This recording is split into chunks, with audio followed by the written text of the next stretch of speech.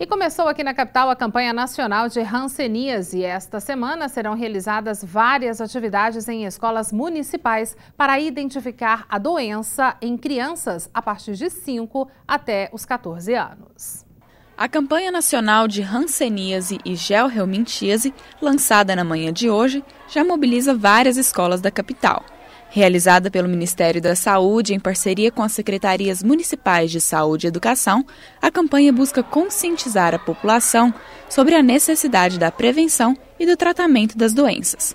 Cerca de 70 mil crianças devem ser atendidas até o próximo dia 28. Este é o terceiro ano da campanha nacional que visa fazer o tratamento da verminose e combater a hanseníase em crianças da rede pública de ensino. A gente quer descobrir precocemente hanseníase em crianças para tratamento. E uma outra campanha é geomitise, né, que é a prevenção de parasitoses é, verminoses nas crianças. A hanseníase é uma doença infecto-contagiosa que se manifesta principalmente através de lesões na pele já as verminoses constituem um grupo de doenças parasitárias intestinais. Nós estamos trabalhando em torno de 236 municípios, né?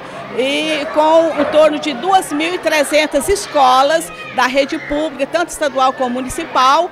Para a identificação dos casos suspeitos, formulários de mapeamento de lesões devem ser respondidos pelos pais das crianças e entregues à coordenação das escolas.